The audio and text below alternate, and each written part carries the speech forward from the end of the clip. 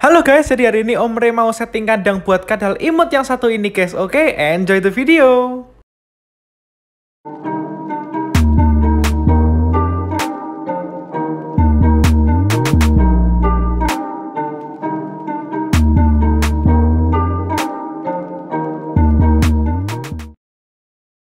Guys, jadi kalian ingat nggak aku kemarin beli Ligosoma quadrupes atau kadal ular ya guys, wih keren banget. Ini aku mau coba ganti substrat kandangnya guys. Kita setting ulang kandangnya supaya dia bisa lebih sehat dan lebih nyaman di kandangnya guys. Dia pakai kokopit gini nyaman sih, tapi katanya sellernya yang penjualnya itu bilang kalau pakai apa ya yang terbaik itu antara humus atau uh, dedaunan kering. Pakai daun kering dan juga tanah humus itu yang terbaik. Substratnya buat si Ligosoma quadrupes ini guys Nah, jadi ini dia guys anaknya.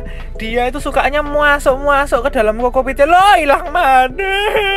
Susah banget loh guys ngambil anaknya ini guys. Dia sukanya masuk-masuk ke dalam kokopitnya. Tapi nggak apa-apa, kita harus sabar perlahan-lahan kita cari dia. Kita pindah dia ke tempat lain guys. By the way, dia belum punya nama ini ya. Dan mungkin aku nanti bakal lihat dari komen-komen kalian kira-kira bakal dikasih nama siapa guys. Nah, ini lucu banget loh. Aku tuh gemes banget loh mbak hewan situ ini iki guys sumpah kaki ego lo guys. Kaki ego tuwili banget loh kayak duh kakinya sekecil itu tulangnya sekecil apa guys? Gak bayangin guys. Tuh lihat dia itu skin ya lucu banget ya. Persis banget kayak kadal sih aslinya. Kayak emang kadal maksudnya kayak persis kayak kadal kadal kebon gitu loh guys aslinya modelnya cuman saking kayak dia itu cilik dan juga panjang jadi unik banget guys. Tuh dia tuh juga punya lidah loh guys. Ya pasti punya lidah sih tapi lidahnya tuh kecil. Kadang dia itu juga menjulurkan lidahnya kayak reptil-reptil lain gitu kayak ber, ber, ber, gitu keluar lidahnya. Lidahnya cuwilik guys. Paling cuma satu mili panjangnya. Oke deh jadi di sini kita langsung ambil aja dengan perlahan-lahan. Karena setauku kalau nggak salah dia ini juga hewan autotomi ya guys ya. Kadal ini dia bisa mutusin ekornya jadi hati-hati. Jangan terlalu kasar megang di bagian ekornya. Nanti takutnya dia malah mutusin ekor guys. Aku malah kasihan nanti. Oke ini dia guys. Sih lucu banget. Oke deh aku sudah siapin tempat di sebelah sini. Aku mau pindah dia ke tempat plastik habis gini guys. Tuh tapi aku masih pengen nyoba mainan-mainan dulu sama dia guys feelingnya tuh kayak apa ya kayak cacing guys bukan kayak kadal, bukan kayak ular, tapi lebih ke kayak cacing guys rasanya itu guys. Jadi, ih, ih lihat tuh mukanya guys, lucu banget mukanya. Sumpah, sumpah, sumpah, aku kayak gemes loh guys, muka eh lucu banget muka itu cilik bisa, wes, wes badannya panjang, cilik, terus ekornya panjang juga, jadi badan sama ekornya kurang lebih sama panjangnya dan juga kakinya tuh kecil-kecil guys, jadi aduh gemes banget loh kayak dedek bayi modelnya guys. Oke, jadi di sini aku udah siapin tempat plastik ya, tempat makanan seperti biasa buat uh, buat packing-packing reptil, packing makanan kayak biasanya, dan kita mau taruh dia di tempat itu selagi kita membersihkan eh membersihkan mengganti substrat uh, kandangnya yang aslinya oke okay, guys? Jadi kita harus perlahan-lahan soalnya dia itu hewan yang kecil dan fragile atau rapuh ya guys ya. Hati-hati. Awas! Eh. dia biasalah jampi ya guys ya. Soalnya hewan yang satu ini kalau perasaku sih mungkin dia itu WC guys ya. Soalnya harganya murah dan juga mana ada captive bred hewan kayak gini. Ya mungkin ada sih tapi kayaknya sih kemungkinan besar nih itu hewan WC atau wild caught. Oke guys jadi di sini kemarin dari packingannya itu aku udah dapet ya guys ya. Dari penjualnya itu aku dapet daun kering ini sekalian sama packingannya. Jadi terima kasih banyak guys. Eh terima kasih banyak guys. Terima kasih banyak ya mas sellernya. Udah dikasih daun-daunan kering sekalian sama packagingnya. Jadi aku nggak usah susah-susah nyari daun kering guys. Tinggal pakai daun kering yang ini aja. Wih, mantap guys. Habis itu kita mau coba gunting-gunting guys uh, daunnya supaya dia lebih apa ya lebih kayak substrat itu lebih hancur gitu guys. Nah kayaknya segini aja cukup guys. Nggak usah terlalu banyak ya. Kalau terlalu banyak kok tadi pecel guys Oke deh, jadi habis gini mau kita basahin dulu deh. Kita mau basahin dulu kayak potong rambut gitu, guys. Kita semprot-semprot kita basahin dulu baru kita gunting-gunting, guys. Nah, ini aku semprot-semprot pakai air. Airnya air mateng, air bersih, guys. Jangan air keran ya takutnya ada kaporitnya.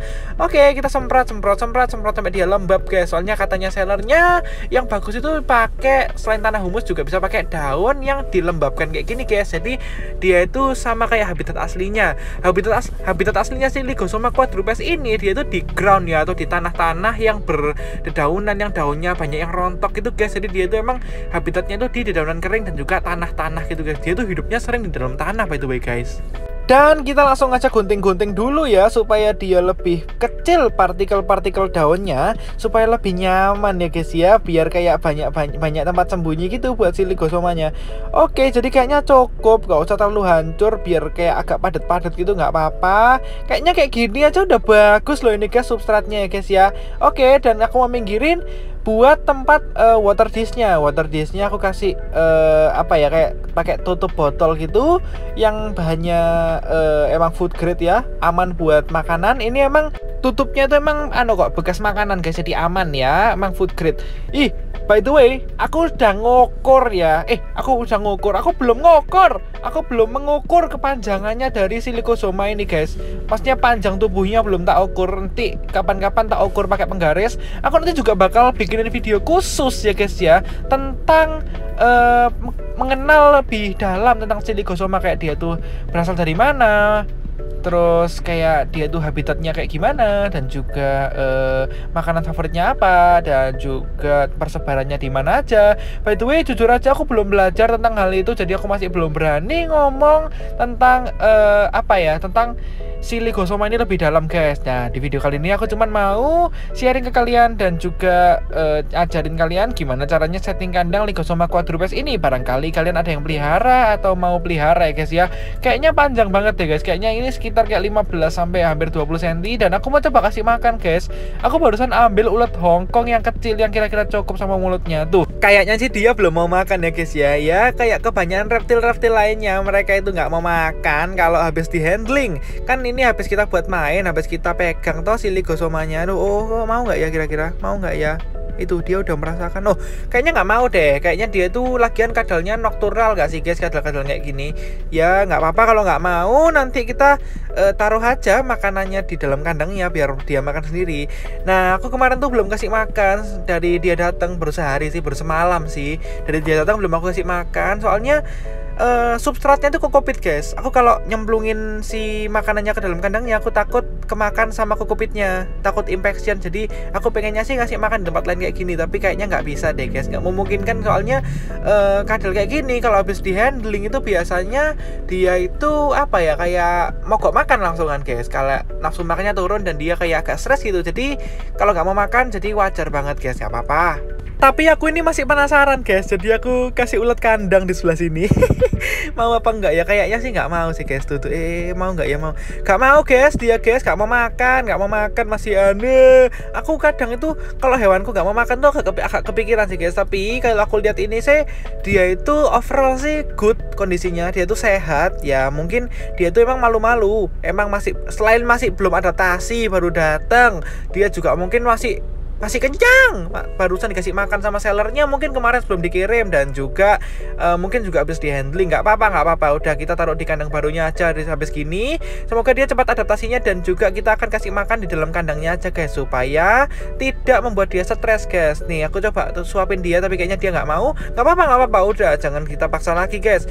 Kalau mereka nggak mau makan ya wes mungkin dianggap aja kenyang guys. Dia juga nggak mau toh dipaksa kayak manusia lah. Jangan dipaksa-paksa. Oke kasihan. Biar dia uh, uh, mau melakukan apa yang dia mau. Oke guys, langsung aja kita pindah guys. Aku udah gak sabar pindah dia ke kandang barunya. Semoga dia suka sama kandang barunya ya guys ya.